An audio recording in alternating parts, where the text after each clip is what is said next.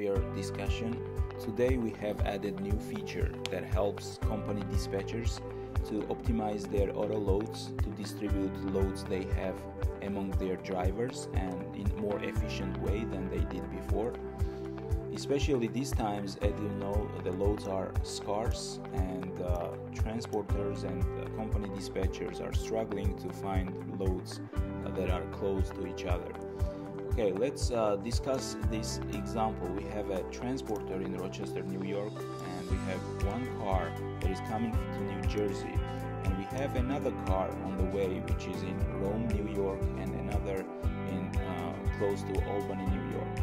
If we want to just uh, connect pickup uh, locations, approximately we can calculate that it will add 55 miles to our in our route but now we also have uh, different destinations in New Jersey and if we calculate connecting those destinations as well okay first we will connect pickups like this and then we will connect destination.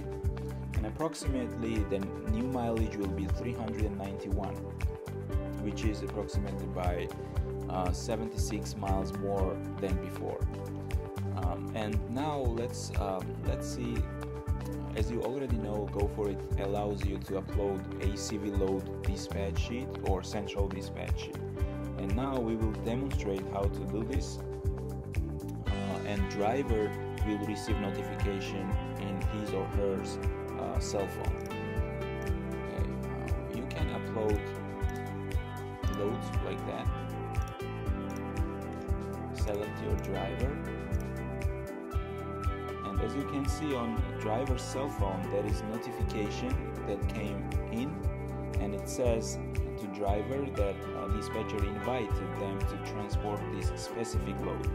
So once driver accept this load as you can see on the cell phone that uh, this load became in the current load and here the dispatcher will have updated status. It says assigned. This means that driver uh, confirmed the load.